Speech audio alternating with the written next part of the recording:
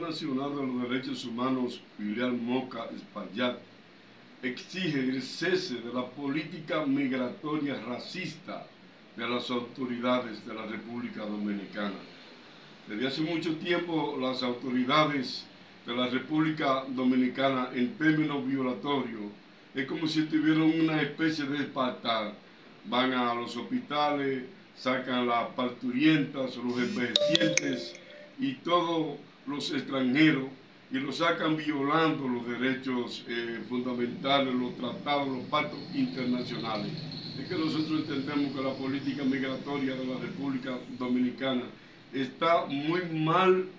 eh, dictada debido a que lo que el gobierno tiene que hacer es dictar, elaborar una especie de política migratoria que vaya acorde con los derechos internacionales, los derechos eh, de los tratados eh, de derechos humanos